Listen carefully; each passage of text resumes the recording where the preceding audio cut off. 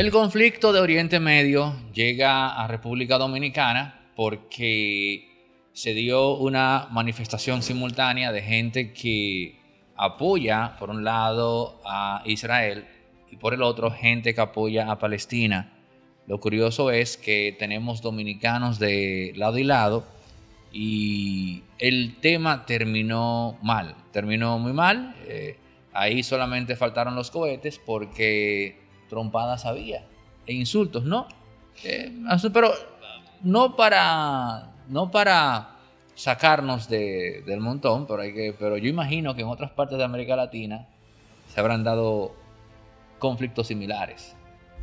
Yo no sé si a este nivel, aquí es un nivel de estupidez supina, yo diría, porque los eh, pro Israel que hay, que se pararon ahí, básicamente son, entre otros, la antigua Orden Dominicana, que es un grupo neofascista que está operando a la libre. Digo a la libre porque ellos fueron a incidentar esa protesta pro-palestina que había ahí. De dirigentes de izquierda, de la izquierda dominicana legendaria, viejísima, ¿no? Entre ellos creo que estaba ahí eh, Narciso Isaac Conde y otros más, incluso un diputado del Frente Amplio. Em, y ellos fueron definitivamente a incidentar la protesta, a violentarla. Y yo digo que esos, tipos de la antigua orden son muy delicados, muy delicado eso, porque están teniendo apoyo de algún militar. Ellos, los militares, yo lo vi, eso no lo vi en el video, que dura 6 minutos 40, no la versión corta.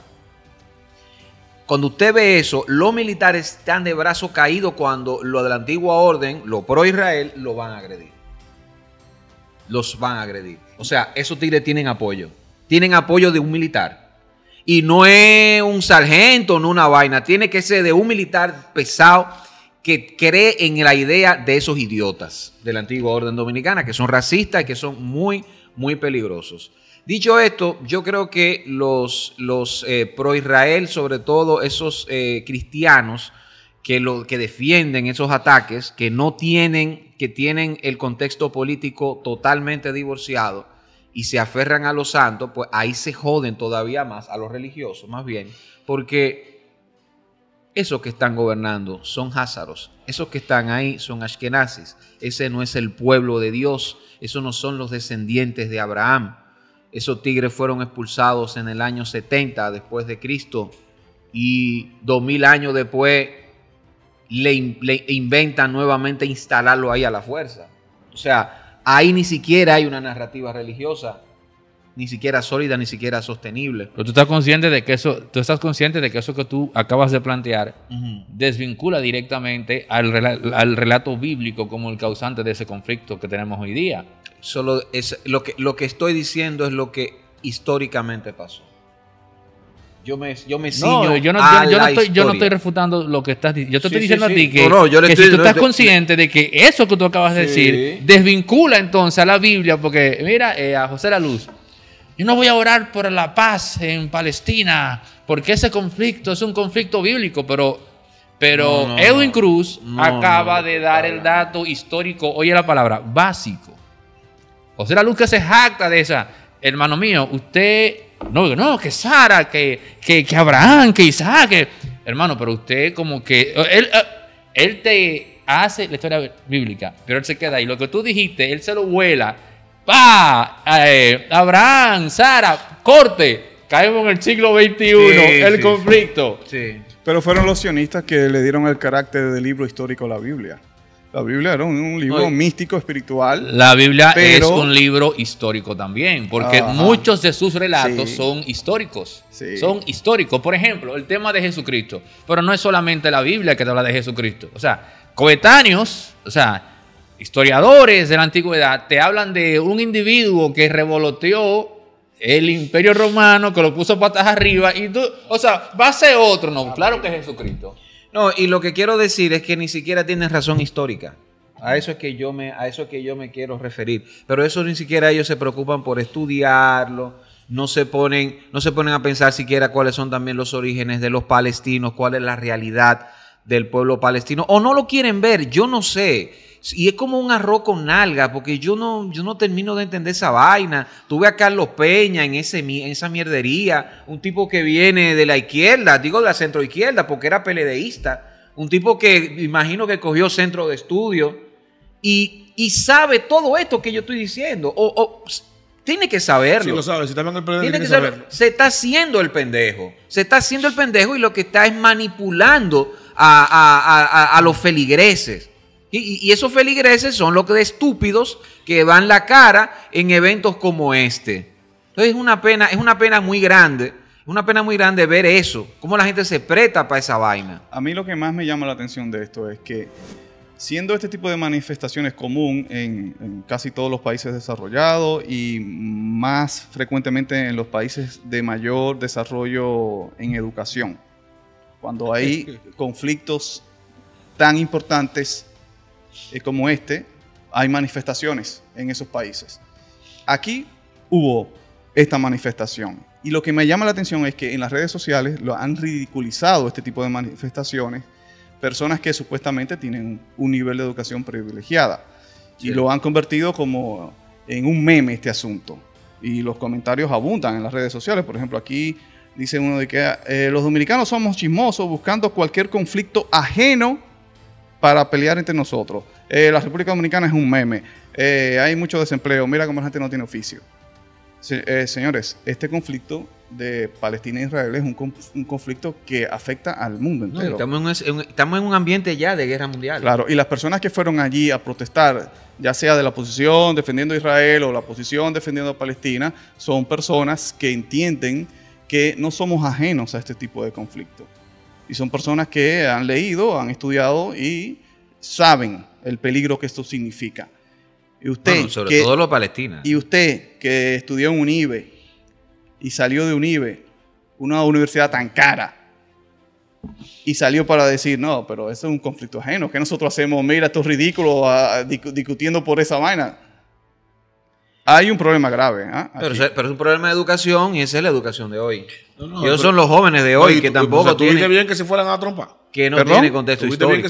no, es que ellos no están criticando que se fueran a trompar. Ellos lo que están criticando, no, burlándose de que qué hacen esta gente, eh, de un conflicto que está tan lejos que no nos afecta a nosotros. No, son la mayoría. De buscando que sonido, y que buscando sonido con esa vaina. No, no, esos son los sonidistas. Lo que están diciendo esos son los sonidistas porque ni siquiera entienden el conflicto que está pasando en Israel y Palestina y salen de una vez, eso fue tendencia, que no lo y empezaron a, a, opinar. No, que no saben, no saben lo que es eso. Empezaron a opinar. Es ridículo el dominicano. Ahora, Ah, el debate, lo que, están criticando, claro, son un recuerdo estúpidos que no saben de eso.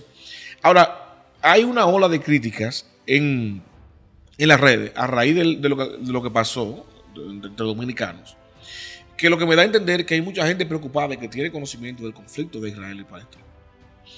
Y eso es interesante, interesante para mí. ¿Por qué? Porque yo veo que ese nivel de profundidad en cuanto a ese tema de los dominicanos, yo no lo veo aplicado en los conflictos dominicanos, en las mismas redes sociales. No sé si tú me entiendes. Tú ves en las redes sociales mucha, una, ahora mismo una línea de discusión en torno al conflicto de Israel y Palestina entre dominicanos con más, con más profundidad que lo que tú ven que abordan los, problemas locales. Y eso a mí, eh, y eso a mí sí me da más, más pena que el mismo problema de, la del, del pleito en el dominicano.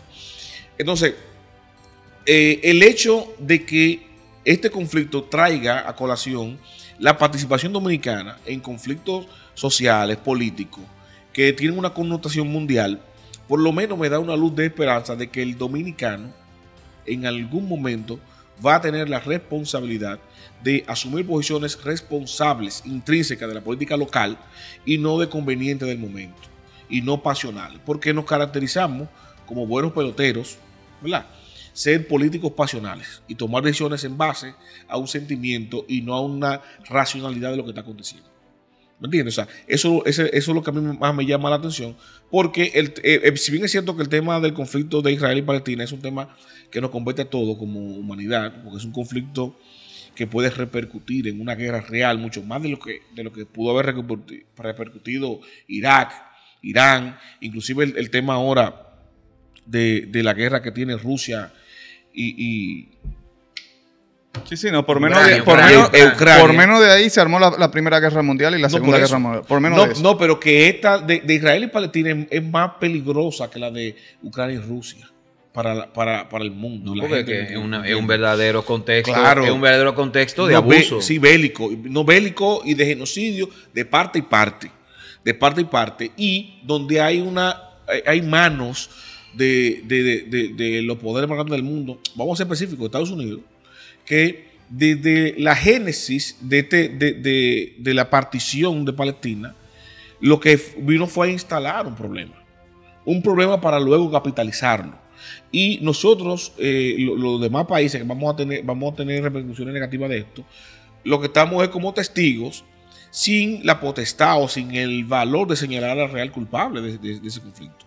Porque una partición que nace con un solo Estado, donde hay dos pueblos diferentes, no hay forma de que eso no sea un conflicto que no se pueda solucionar. ¿Por qué desde un principio eso no se, eh, eh, no se declararon dos estados reconocidos por la, por la ONU? ¿Por qué fue un solo? ¿Por qué fue Israel y no Palestina? Si tú ves el, mapa geopolítico de la zona, eh, tú ves cómo Palestina ha ido perdiendo espacio geográfico, totalmente. Y, y parece todo un plan orquestado no de Israel, sino de otras fuerzas que apoyan a Israel como medio para eso para ir desapareciendo al pueblo palestino y dejar un solo Estado, que sea Israel, por intereses particulares. Y eso viene desde, inclusive del tema de... de, intereses de Occidente. Total. lo dice, Estados Unidos y, las otras naciones. Entonces, ¿qué es lo que yo pienso? Eh, hay un grupo de personas, no los radicales, no jamás, sino de una población que se refugia en Gaza, ¿verdad?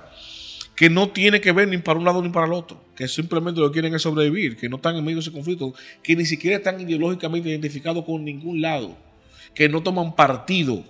Tú te das cuenta cuando Israel, por ejemplo, no le permite a Palestina tener un ejército, pero ellos sí.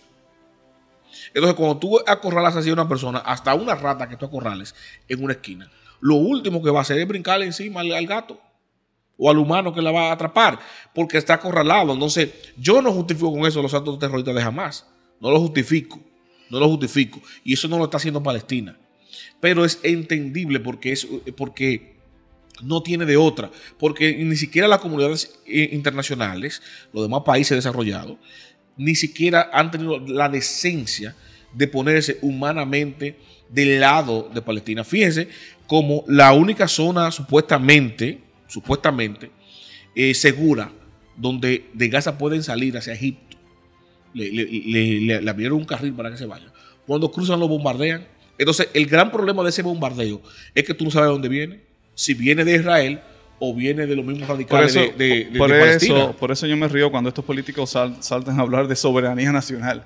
Maldita soberanía. Cuando tenemos al presidente de la República, de origen libanés, que es muy importante, cuando lo único que ha dicho es condeno el ataque de, condenamos el ataque de Hamas. Ya.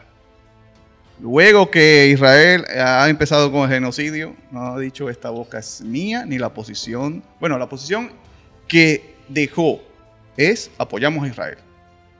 O sea, carta blanca, todo lo que haga no, porque el único está justificado. Eh, eh, eh, ¿Y eso es soberanía? No, imposible.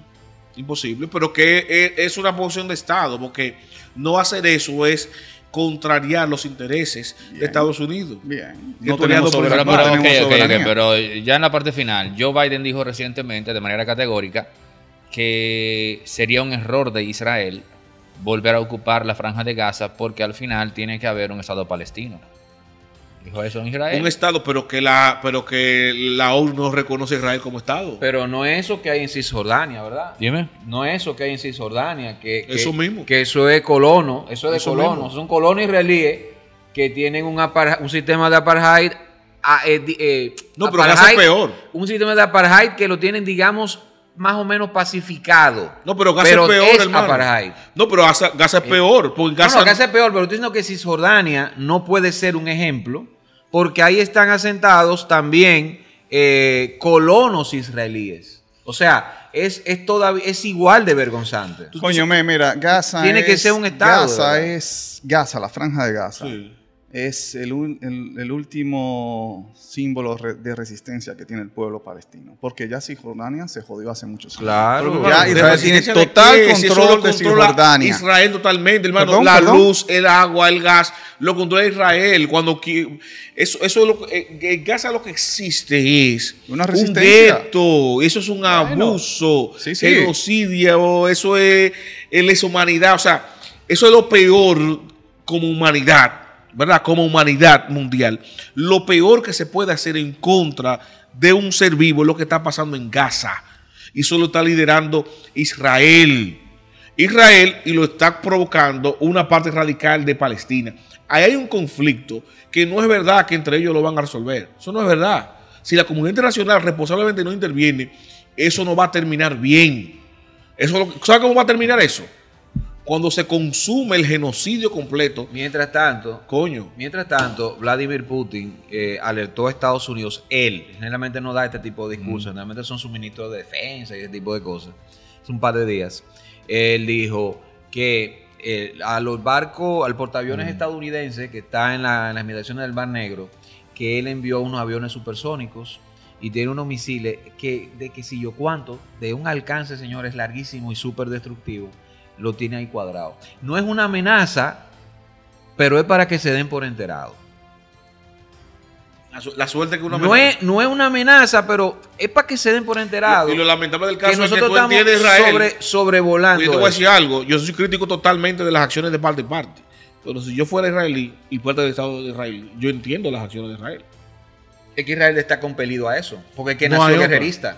Nació guerrerista tiene que mantenerse así. No, no, no, no, no, solamente por eso, Edwin. Es el, es el tema y cómo tú resuelves ese tema. Porque tú controlas eh, eh, eh, política y económicamente la zona, pero tú no tienes el control social de un grupo. O sea, la única forma que lo tienes tácticamente es provocar, simular la situación y desaparecerlo totalmente.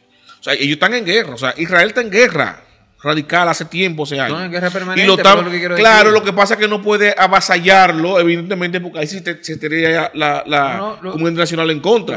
y la única forma es, bueno, vamos a hacerle el aparataje de que estamos reaccionando, nos estamos defendiendo. Y vamos a barrerlo y vamos a, borrarlo de la existencia. Y esa es la única salida que ellos ven. Y lastimosamente la única que tienen. De manera táctica, la única que tienen. Quinta pata, Mario Herrera, Edwin Cruz, José Maracayo. Esto realmente el tema me da porque como tú dices, el tema que el de esto va, esto va a terminar mal. Pero vamos a ver si ocurre un milagro al final del día, no sé cómo, y terminan al menos con un cese al fuego de unos cuantos años. Para que el mundo. Estados Unidos lo que debe dar un pedazo de ellos, Israel. Sáquenlo de allá, Israel. Estado de Israel. Coge un pedazo de Estados Unidos, de, eh, conjunto con Canadá, o por encima de Canadá, que Canadá está abajo en la, frontera, y denle ese lado a Israel. Ustedes fue lo que lo metieron allá con Palestina.